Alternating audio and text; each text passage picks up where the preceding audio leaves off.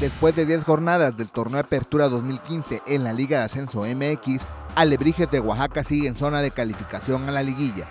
Alebrijes se encuentra en la quinta posición de la tabla general, con 16 puntos, producto de 4 victorias, 4 empates y tan solo 2 derrotas, con 15 goles a favor y 12 en contra para una diferencia de más 3.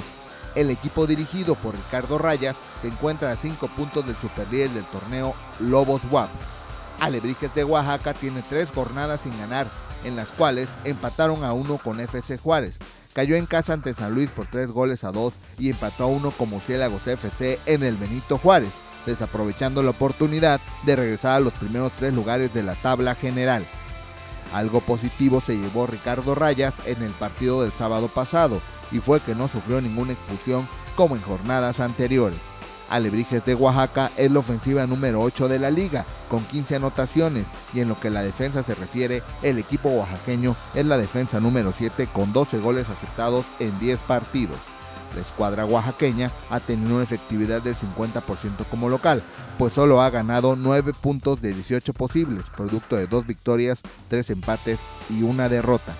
Como visitante, Alebrijes de Oaxaca tiene una efectividad cercana al 80%, pues acumula 7 puntos de 9 posibles con 2 victorias, un empate y tan solo una derrota. En el plano individual, Juan Manuel Cavallo y Dani Santoya siguen como líderes de Alebrijes con 3 anotaciones cada uno. En lo que corresponde a minutos jugados, Martín El Sisi Castillo es el único alebrije que ha jugado todos los partidos completos.